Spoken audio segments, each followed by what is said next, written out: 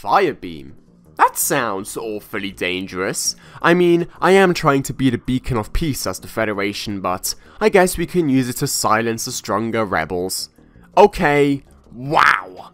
That's a lot of fun. I'm sure people won't mind if I use it a bit more liberally. Surrender?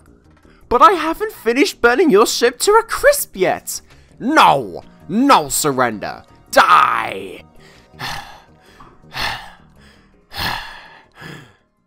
FTL. Because committing war crimes never felt so good.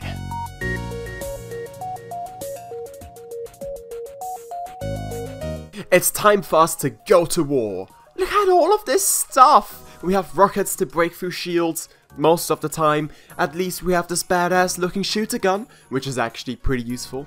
I especially like the subtle euphemism of having a few pew-pews actually result in the death and suffering of hundreds of other people. Shields! Which for some reason perfectly absorb highly concentrated severely ionizing and, well, fucking terrifying rays, but cannot physically stop the entry of a metal cylinder. Let's just start this thing. It's good to see that the Federation didn't even give us enough power to run our ship to the fullest. Well, you're all losing your healthcare privileges for the sake of more guns. Let's see. Okay. Now, what would you do if you were trapped in a spaceship with Jimmy Carr, Brandy, and some rando you've never heard of before, with the enemy's fleet on hot pursuit? Well, obviously you attack them, because it's the moral choice in this situation. We are the goody good guys after all. And so, they fall, we pick up the scraps, take the praise, and make off. You are considerably more alarmed than we thought. We surrender. Well, we can't be noble all of the time. Just one mildly egregious thing, and then you find the remains of the ship. You manage to discern the ship's intended destination. So, do I honor the fallen crew by completing their mission? Or do I make off with what they had? Hmm...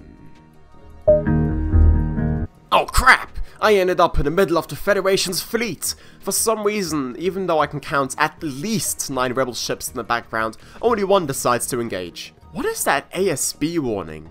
Ah, I see. Well, what kind of Unga Bunga technology must I have which is capable of stopping the almighty force of two shields and 20 of it? Well, balls. Okay, I'll just go fix this. I said before a fire went off.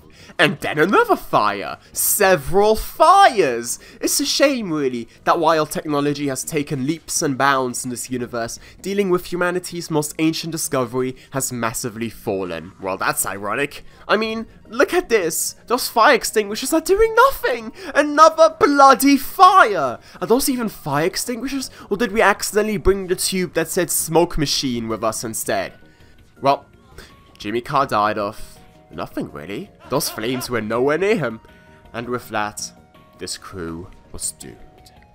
Yeah, I'm already dead, you cunts. Let's give that another go. Holy crap! I'm kicking ass! I came up with a new strategy. Shoot their shields, laser them to oblivion, and then watch them burn in the embers. Surrender?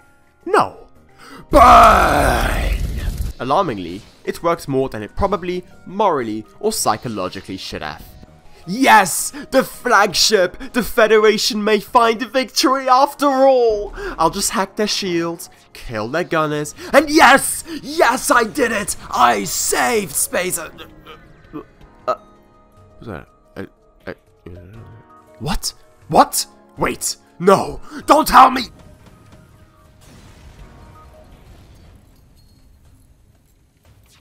Son of a bitch.